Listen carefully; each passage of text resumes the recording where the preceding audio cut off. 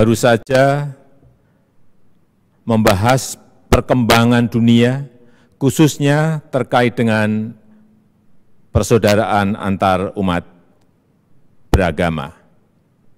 Yang pertama,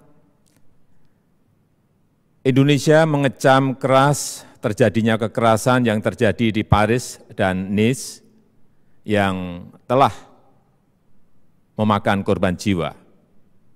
Yang kedua, Indonesia juga mengecam keras pernyataan Presiden Prancis yang menghina agama Islam, yang telah melukai perasaan umat Islam di seluruh dunia, yang bisa memecah belah persatuan antar umat beragama di dunia. Di saat dunia memerlukan persatuan untuk menghadapi pandemi COVID-19.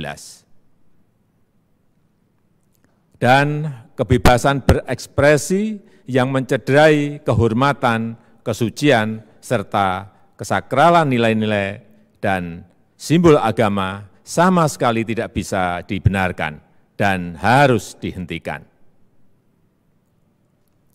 mengaitkan agama dengan tindakan terorisme adalah sebuah kesalahan besar. Terorisme adalah terorisme. Teroris adalah teroris.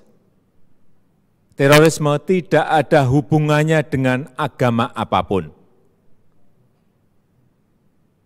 Terakhir, Indonesia mengajak dunia mengedepankan persatuan dan toleransi beragama untuk membangun dunia yang lebih baik. Saya rasa itu yang bisa saya sampaikan. Terima kasih. Wassalamualaikum warahmatullahi wabarakatuh.